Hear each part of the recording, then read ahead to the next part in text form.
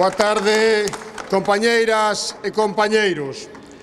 Hoxe Galiza vive unha xornada nacional de movilizacións, con manifestacións en todas as comarcas, con un lema claro e rotundo.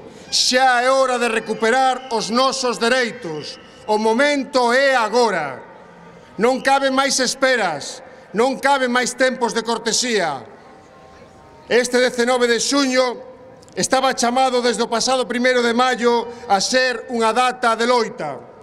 Fixémolo dende a CIGA cando decidimos que sería neste día cando se materializaría a convocatoria da folga xeral galega que impulsamos con determinación, con absoluto convencemento e desde a total confianza no povo traballador galego. Sobraban razóns e siguen sobrando razóns. E o sindicalismo nacionalista de clase, fiel á súa tradición de combatividade, demos un paso fronte, con audacia, fronte ao inmobilismo no que está instalado tanto o sindicalismo de concertación ou das grandes centrales sindicales estatais, como tamén o autodenominado sindicalismo alternativo. A folga xeral do 19 de xuño concebímola como a nosa moción de censura a da clase traballadora galega contra o goberno español de Mariano Rajoy e as políticas de saqueo antisocial que se estaban a aplicar. Hubo finalmente unha moción de censura no Congreso e o Partido Popular foi desaloxado do goberno español. Pero que ninguén se equivoque, nin todo o problema era o PP, nin a saída de Rajoy resolve nada en si sí mesma. Decímolo hoxe con absoluta claridade, entendendo que desaloxar o Partido Popular da corrupción, o Partido Popular dos recortes, o Partido Popular da brutal represión era imprescindible, pero non é suficiente. O problema de fondo é un réximen político podre deseñado para perpetuar a explotación capitalista o que temos que desaloxar dunha vez por todas e a maneira e de maneira definitiva son as políticas da dereita. As políticas de austeridade que iniciou o PSOE do artigo 135 e que logo desenvolveu e que acrecentou o Partido Popular.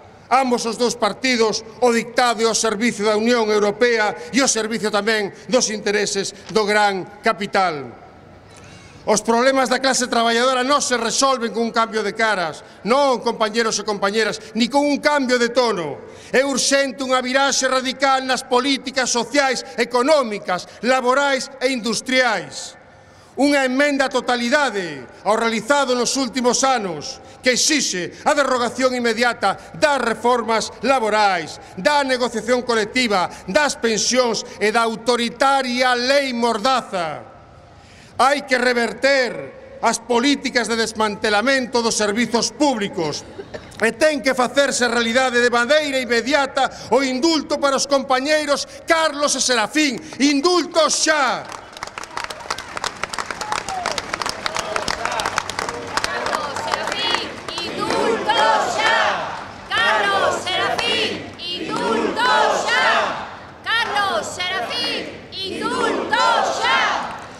porque non hai ningún motivo para retrasar unha medida que só precisa de vontade política. Compañeiras e compañeiros, poden parecer todas estas reivindicacións un paquete demasiado ambicioso, pero non o é. Son os mínimos imprescindibles para que poidamos falar de mudanza, de cambio efectivo, de cambio real. E son os mínimos irrenunciables para nós. Non imos tragar con xestos, non imos a tragar con maquillaxes. Non imos consentir que se manteña en vigor ningunha das reformas que provocaron un desemprego agobiante, que expulsaron por miles a emigración a nosa mocedade, que empobreceron brutalmente os salarios e as pensións e que xenalizaron a precariedade. E non imos consentilo porque sería un luxo que nós non nos podemos permitir. Porque non imos renunciar ao noso dereito a vivir con dignidade do noso traballo na nosa propia terra, Compañeiras e compañeiros, sabemos que a saída de Rajoy ten provocado expectativas a nivel social, pero tamén coñecemos moi ben o PSOE. E non hai ningún motivo para confiar, non hai ningún motivo para creer que o novo goberno español de Pedro Sánchez vai a facer nada máis alá de xestos vistosos para asegurar a súa propia supervivencia política. As súas primeiras decisións confirman a nosa suspicacia a composición do novo Executivo, con ministros de claro fondo reaccionario ou o reiterado compromiso de Sánchez de cumprir coas recetas antiobreiras que marca Bruxelas non ofrece motivo de esperanza, senón, desgraciadamente, de preocupación. O mesmo Sánchez que prometía e apenas nada que o primeiro que faría sería votar abaixo a reforma laboral ou se se limita a prometer modificar algúns poucos aspectos. A situación de emerxencia social, emerxencia laboral, emerxencia productiva que padece o noso país non se resolve porque cambie o nome do habitante da Moncloa. Non chega con que cambien o presidente, os ministros ou as ministras. O que hai que cambiar son as políticas. Avanzar na retirada das reformas antisociais e antiobreiras só será posible se obrigamos ao novo goberno español a facelo. Do mesmo xeito que poñer en marcha unhas políticas radicalmente diferentes na Xunta de Galiza só será posible se acertemos toda a nosa capacidade de presión.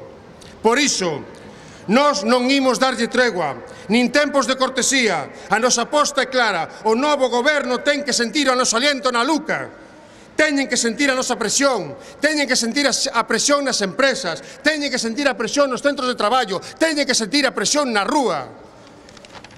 Non é momento de baixar a guardia, nin de retroceder.